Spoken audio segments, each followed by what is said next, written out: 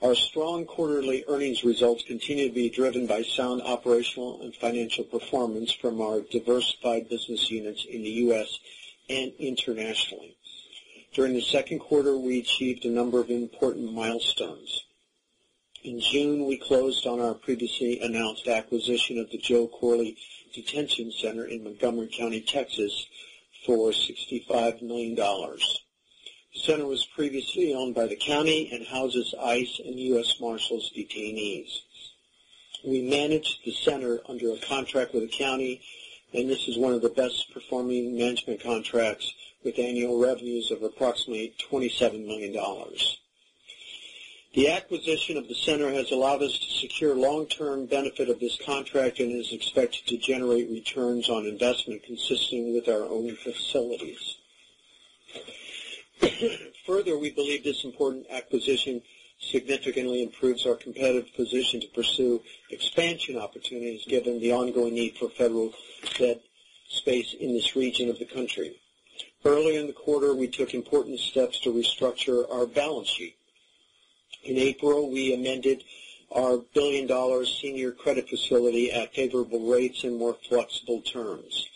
The restructuring of our credit facility was preceded by the March offering of $300 million in senior unsecured notes at a yield of 5.125%, historically low rate for our company. The important steps have given us more flexibility as we continue to pursue accretive opportunities for new organic development projects and potential asset purchases. These opportunities are expected to drive growth for our company as we continue to return value to our shareholders. Today, we announced our third quarter dividend of $0.50 per share, consistent with our prior guidance. As we have expressed to you in the past, our board and our management team remain focused on the careful evaluation of our allocation of capital to enhance shareholder value. We remain committed to increasing our dividend payout in our adjusted funds from operations through the continued organic growth of the company. In line with that commitment, we expect to increase our quarterly dividend payout ratio to approximately 75% of AFFO, or $0.53-$0.55 per share in the fourth quarter of this year. Our recently completed refinancing, the potential reactivation of idle facilities, and new organic uh, opportunities will give us the flexibility to return a higher portion of our funds available for distribution to our shareholders. With respect to the outlook for our industry, we continue to be optimistic regarding several new opportunities and we are currently pursuing. Our most immediate potential catalysts are the prospective reactivation of our current inventory of idle facilities, which total approximately 6,000 beds. Specifically, as it relates to our current idle facilities in inventory, we are currently participating in known public procurements in California, Michigan, and at the federal level. These procurements are expected to have contract awards announced this year and next year and may result in the reactivation of several of our idle facilities. Further, we are exploring a number of non-public opportunities that relate to both new project development as well as potential asset purchases. We believe that our company is well-positioned to benefit from these important opportunities. We also believe that our company has attractive investment characteristics, which are underpinned by our robust real estate portfolio of company-owned and leased facilities. Our company profile has evolved over several years, during which time we have developed and financed dozens of new detention and correctional facilities for federal and state government clients. We currently own or lease approximately 70% of our facilities and 60% of our beds worldwide, and approximately 60% of our total revenues are generated by our company-owned and company-leased facilities. Our owned and leased real estate portfolio encompasses approximately 8 million sq ft in diversified facilities located on more than 4,000 acres of land across the United States. We have stable and sustainable income through increasingly longer-term contract arrangements.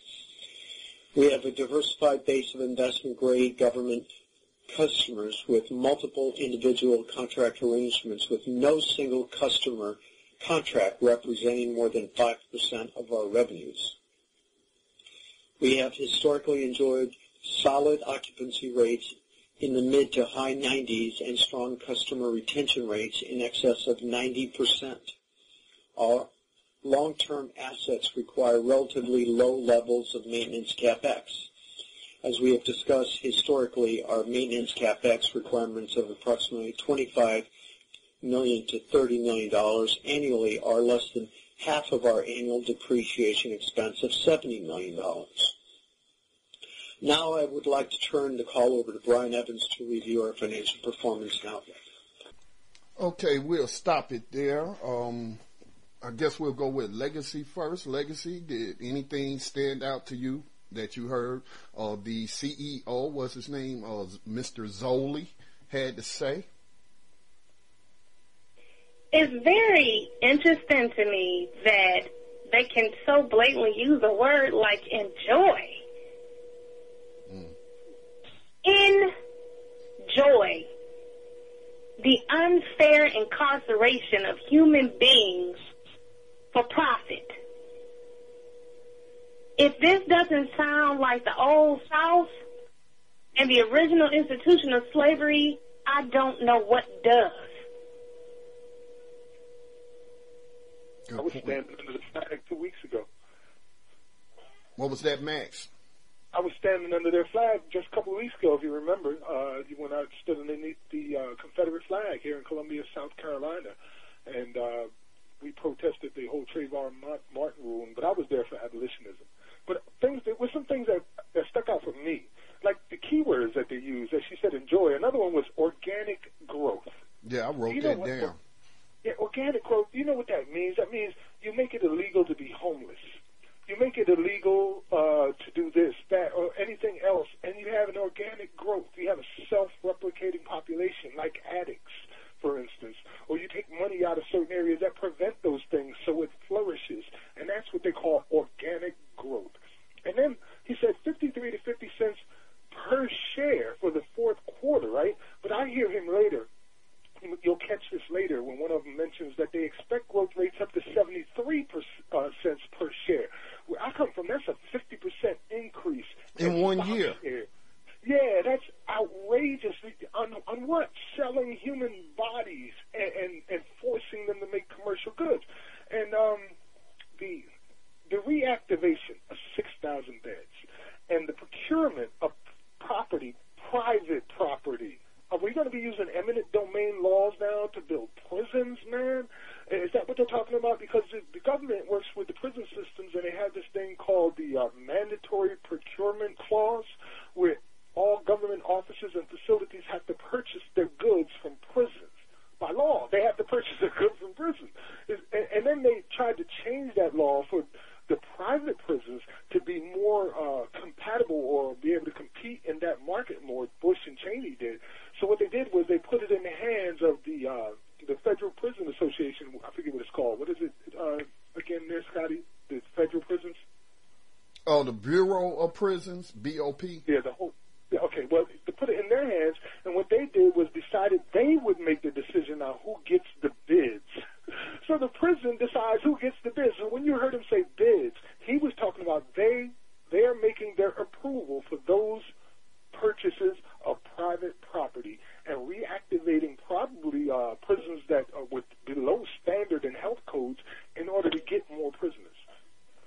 Wow. One of the other things uh, when you mention organic growth and, and the things that lead to that, like, you know, uh, uh, the job loss, but let's not forget that for every enslaved person who they give a job to, that's one less job for you out here on the outside. So then you'll be, you know, the cycle begins. Okay, I can't find employment. They cutting food assistance. So what am I going to do to survive. Oh, I guess I'll have to sell some drugs or, or prostitute or, or, you know, go break into somebody's house. So they're, they're actually creating the conditions for that organic Indeed, growth. they are. Now, this is a really interesting thing because what we're listening to is the GEO group, correct? The GEO group, yes. The GEO Group. Now, the GEO Group's parent company is Wackenhut Corporation, who's been funded by who? The American Legislative Exchange Council, who is behind some of the toughest sentencing laws that have ever been created on the books, like That's what I- sentencing nonviolent offenders, the three strikes rule. So, of course, they are creating the conditions. They have the law and they have to create the conditions to do this the American Legislative Exchange Council is also behind uh, a lot of the uh, anti-immigrant reform because they have quotas for building correctional facilities, incarcerating more of the immigrant population. So this thing is working on several levels against any people who are supposed to be uh, the, the this free labor source that they need, so they can continue to enjoy their profits and the organic exploitation of people. One of the things you all the way mentioned, up to the, I'm it sorry, goes go all ahead, the way up to the, to the White House as I was associating before with Dick Cheney and, and Alberto Gonzales. They were just two that got busted. Now, in the trial with these guys, the judge disappeared, never to be seen again. That's how that ended. That's why they never went to prison. The judge disappeared. This is the type of country we're living in. Now, I just want to make a quote. The jail population grew to 2 million by the year 2000. In 1990, it was 1 million. Ten years ago, there was only five private prisons in the country with a population of 2,000 inmates. Now, there are 100 with 62,000 inmates, and it's expected that by the coming decade, the number will be 360,000, according to reports. So, what has happened over the last 10 years? Why are there so many prisoners? And you can't tell me that the president, the White House right now, doesn't know what's going on because he's a constitutional lawyer. He's fully aware of what's going on. Well, this is treason at the highest levels, if you ask me. Well, also we need to point out, and I want to get back to something Legacy pointed out, but we should also point out that currently the U.S. Justice Department is fighting in court, in federal court, to keep prisoners who are mostly African descended behind bars who were sentenced under the discriminatory uh, racist drug laws talking about the crack cocaine versus the powder. Now everybody ha- that has been involved with this case, including uh, members of Congress have said that it was racist, that it was unfair, and that these prisoners should be sentenced under the new guidelines that the president signed into law himself, reducing it from 100 to 1 to 18 to 1 is still a huge disparity. Uh, uh, but so he knows, he knows, and they're fighting to keep these prisoners behind bars, which is estimated to be about 10,000 human beings. Okay and and, and to touch upon uh, what Legacy was talking about, you know, he mentioned on that call about their tremendous growth opportunity in Texas. Where is Texas? Texas is a border state where, you know, with an increasing Hispanic and Latino uh, population. Indeed. Mm-hmm.